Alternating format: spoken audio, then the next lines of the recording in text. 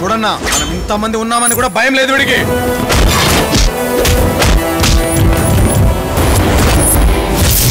దేవుడు ప్రతి మొగాడి కోసం ఒక అమ్మాయిని పుట్టిస్తాడని మా నాన్న ఎప్పుడో చెప్పాడ్రా.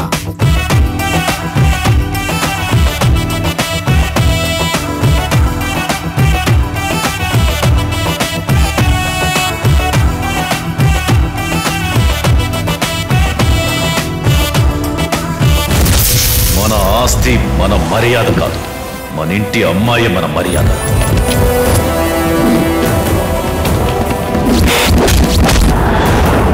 ఊరుకునే కొద్ది రెచ్చి ఏదో ఒకటి చేయాలరా వాళ్ళు. నడి రోడ్డు మీద ఇద్దరిని నరికేస్తా ఒక మనిషిని మార్చడం అంత సులువు కాదు.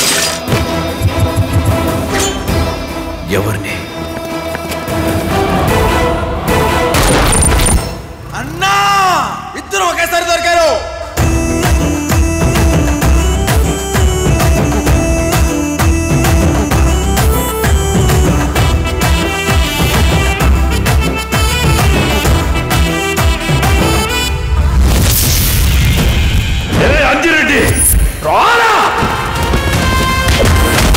వాళ్ళకి ఓట్లు వేయడానికి మనం కావాలి.